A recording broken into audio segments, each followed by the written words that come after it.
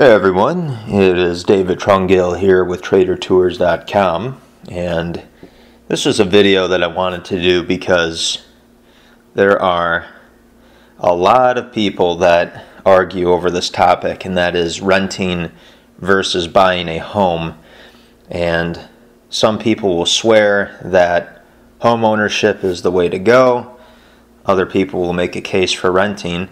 And before I delve into this topic here, I will be the first to tell you that I think it ultimately depends. So, this is a great discussion, okay? There are advantages and disadvantages to both categories, and ultimately it depends on what you're really looking for, okay? Uh, for instance, how much do you value privacy? Are you married? Are you trying to raise kids? How long do you plan on living in a particular location? What are the crime statistics like? What is the landlord like? What are the surrounding tenants like? How high are the property taxes in any given area? Okay, so there are a lot of factors to consider. And I would say this though, I think that home ownership is more of a luxury. I would say that I think it's more desirable for most people because, again, you have more square footage, you have more privacy, more freedom, you own the place. But in terms of just cost, I would actually argue that I think renting is cheaper. Okay, does that mean it's better? Not necessarily. Again, that part depends. But in terms of just cost, I do think that renting is cheaper than homeownership in most cases, and I'm going to explain that right here. All right, so if we look at this slide here, we're going to compare the the cost of renting versus homeownership. Now, again, I know these numbers will dramatically change depending on where you are in the US. And there are other factors out there, such as roommates and things like that. But again, the comparison that I'm doing in this PowerPoint is just a single person renting versus buying a home and living in it. We're not talking about renting out multiple units for cash flow, we're just talking about living in a home versus renting. And based on this data, again, these are approximate figures. A renter might pay somewhere around $900 per month. That would equate to $10,800 per year. Okay, there might be some utilities in there, but one of the benefits of renting is that the landlord or the owner of the property may cover certain utilities or expenditures for you. And as a homeowner, it is guaranteed that you will have to pay all of them. So, what I did here is I used the value of $200,000 for the house because that's somewhere around average.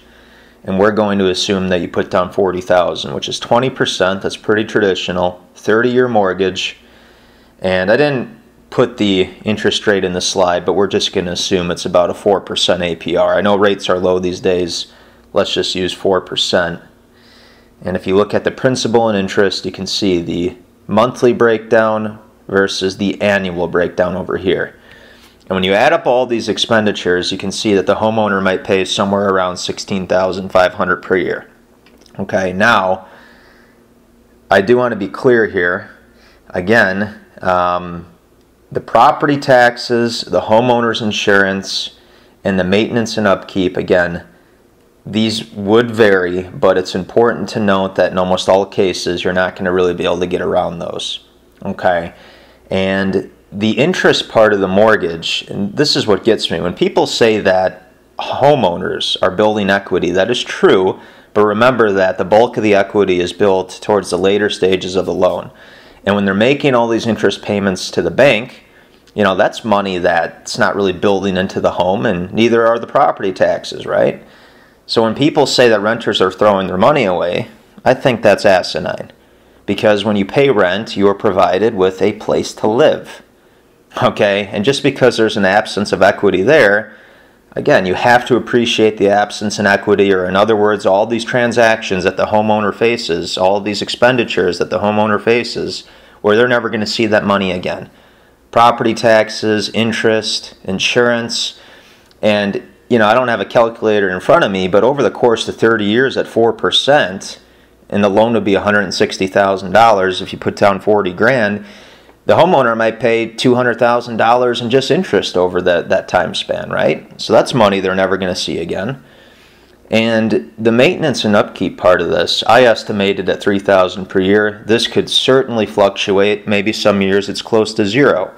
But perhaps one year it might be 10 or 15 grand. I mean, what happens if you have to put a new roof up?